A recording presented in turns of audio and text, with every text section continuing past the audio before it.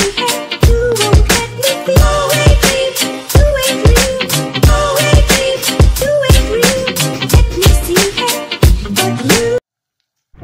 अस्सलाम वालेकुम welcome back to my channel आज मैं आपके साथ शेयर करने वाली हूँ चिकन कढ़ाई। मैंने प्याज को चॉप करके डाल लिया, लहसुन, अदरक को, उसके बाद लाइट ब्राउन होने के बाद वो भी मैंने डाल दिया।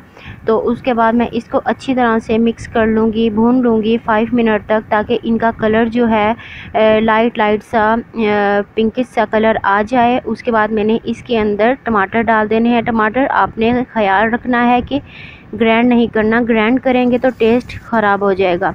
आपने चॉप करके डाल देने हैं या आप कट करके, उसके बाद आपने मिर्चों को जो रेड ग्रीन चिली होती है, या हो फ्रेश, चाहे उसका कलर रेड हो चुका हो, लेकिन फ्रेश होनी चाहिए, उसको फाइव सिक्स जितना आपका चिकन है, उस, उसके अकॉर्डिंग जितना भी आप ऐड करना चाहें चॉप करके ऐड कर सकते हैं और ग्रैंड भी करना है तो बहुत आपने बारीक सा नहीं करना। जिस तरह से बल, बारीक बारीक सी चॉपिंग होती है, उस तरह से आपने करना है।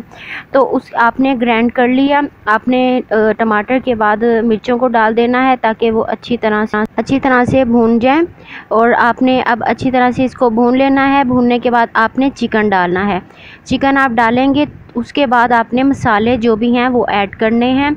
जितना आप फ्लेवर पसंद करते हैं मसालों में आप उतना ऐड कर सकते हैं। अपने मुताबिक मैंने अप, आ, मेरा चिकन कम था तो मैंने कुछ आ, मेरा आ, चिकन कढ़ाई कम थी तो मैंने नॉर्मली अपने हिसाब से इसमें सब कुछ ऐड किया है। चिकन डालने के बाद इसको अच्छी तरह से मैं मिक्स कर लूँगी। फाइव मिनट तक आपने इसको भूनना है।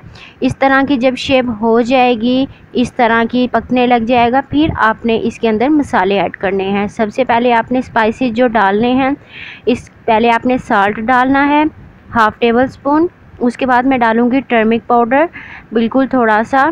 उसके बाद मैंने डालनी है black pepper black pepper just आपने टेस्ट के अकॉर्डिंग ही ऐड करनी है। बहुत ज़्यादा नहीं, बहुत कम नहीं। बिल्कुल लाइट सी।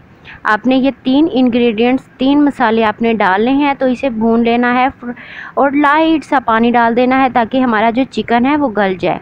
इस तरह से अब देखें आप थोड़ी थोड़ी देर बाद अपने चिकन को चेक करते रहिएगा, ताकि नीचे ना लगे। नीचे लगेगा, स्मेल पैदा होगी तो हमें खाने में इतना मज़ा नहीं आएगा।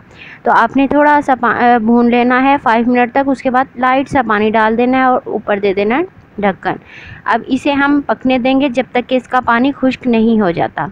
खुश्क हो गया पानी। ये देखिए ऑयल इसका निकल आया। जब तक इसका ऑयल ना निकले, तब तक सालन रेडी नहीं होता। इस चीज़ का ख़ास ख्याल रखिएगा। ये देखें कितना मज़े का बन गया है, भून चुका है अच्छी तरह से। और इसका जो ऑयल है, वो भी निकल चुका है। मेरा खाना हो गया है, तैयार रेडी हो गया है। अब मैं इसके ऊपर जो भी गार्निश करनी होगी, वो मैं करूँगी। आप हरा धनिया, हरी मिर्च अदरक के छोटे छोटे से स्लाइस जो आप पसंद करें वो ऐड कर सकते हैं। अब मैं इसको निकालूँगी सर्व करूँगी। उम्मीद करती हूँ आज की वीडियो आप लोगों को पसंद आई होगी। चिकन कढ़ाई की मेक श्योर पसंद आई होगी। लाइक सब्सक्राइब ज़रूर दीजिएगा। और मैं अपनी नेक्स्ट वीडियो में आपके साथ इससे भी अच्छी बेहतरीन वीडियो लाने की कोशिश करूँगी। और मुझे मेरी वीडियो को लाइक ज़रूर दीजिए दिया करें। और मैं अब, अब आपको मिलूँगी अपनी नेक्स्ट वीडियो में। तब तक के लिए अपना ख्याल रखिएगा। अल्लाह हाफिज़। चिकन को इंजॉय करें।